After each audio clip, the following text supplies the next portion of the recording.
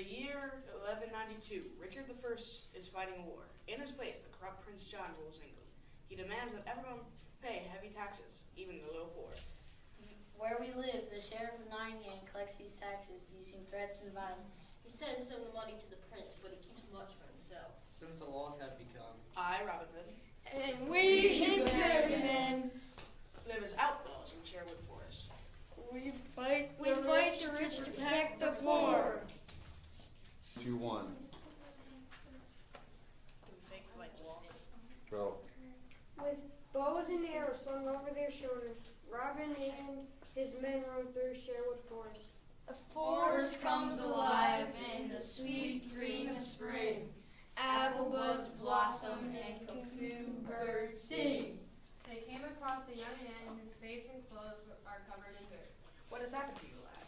My father could not pay the new taxes, so the sheriff of Nottingham burned down our mill. Now we have nothing. The sheriff is a villain. I'll pummel that V. Nay, we can injure him using our brains as well as our brawn. As for you, young friend, Robin takes a loaf of bread and a hunk of, hunk of mutton from his satchel. tell your father that Robin Hood will make sure your family does not starve. We are forever in your service, Master Robin. The merry men practice archery in the forest. England is rolling from the top on down. We pledge our revenge on Nottingham town. Friar Tuck rushes through the trees, sweating. I have just been to the village. Sir Guy is collecting taxes for the sheriff today. Indeed. He must pass through our woods to get back to the castle. His purse will be heavy with coins. Robin grabs his arrows. Time for an adventure, boys. Meanwhile, Sir Guy and Lady Marian walk through the forest. I thank you, my lady, for helping me today. Take this necklace as a token of my appreciation. That necklace belonged to one of the villagers, did it not? Yes, but she could not pay her taxes, so I took it from her instead, and now I would like you to have it. I cannot accept it, Sir Guy. It is not her fault she is poor. She was not born into nobility as we were. Why should she be punished for her for her poverty? I have no pity for commoners and peasants. If they work harder, then they will have plenty. Lady Marian remains silent. Sir Guy looks at the dark path ahead. Are you passing through these woods? They are full of Robin Hood. Is this Robin Robin Hood as ruthless as they say? He stole from of yourself and here for to take money and clothes. Can't the sheriff do something? There is a bounty of 200 gold coins on this hill, but people revere him as the saint. Saint Robin Hood. Robin appears from the forest and blocks their path. You call? Merry men draw their swords. Robin blows his bugle. Scores of outlaws appear, swords pointed. Seize them.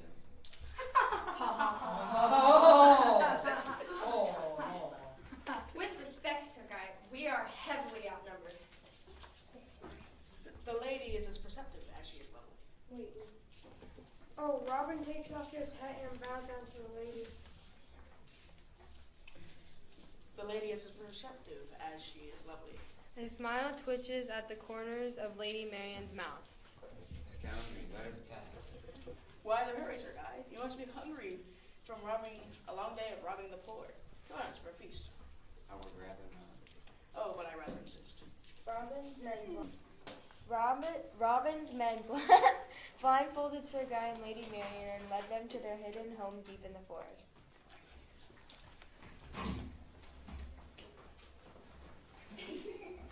One, Sir Guy and Lady Marian sit uncomfortably on tree stumps. A fire crackles as a deer roasts on a spit. Little John raises his goblet. To the sheriff, though his heart may be empty, his pockets are always full. And lady, to Lady Marian, whose gray blue eyes will haunt you forever.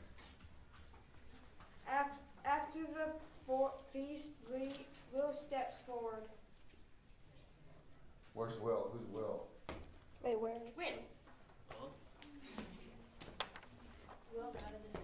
Sir Guy and Lady Marian sit uncomfortably on tree stumps. A fire crackles as a deer roasts on a spit. Little John raises his goblet. To the sheriff, though his heart may be empty, his pockets are always full. And to Lady Marian, whose gray blue eyes will haunt me forever. Lady Marian blushes. Sir Guy rolls his eyes.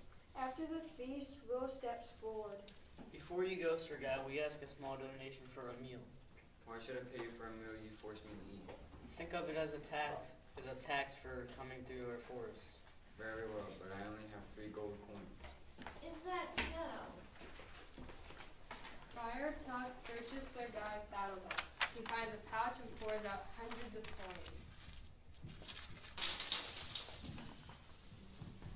Fifty, Sir Guy. If you truly had but three, we would have taken nothing. But since you lied, we will take it all. You criminal. Please allow my men to escort you to the road. Robin kisses Lady Mary. Oh crap! I was going to say. There again. The sheriffs of Nottingham start. Whoa. Where? Oh, I can't find it. You know, it's Gabby starts it's scene. Friar Tuck searches Sir Guy's saddlebag. He No, finds no, no, no, we did that. It's scene four. We need to know. this is This is pretty good. Please let my men escort you through the forest. Lady Marian glances at Robin as she walks away. Until we meet again, good lady.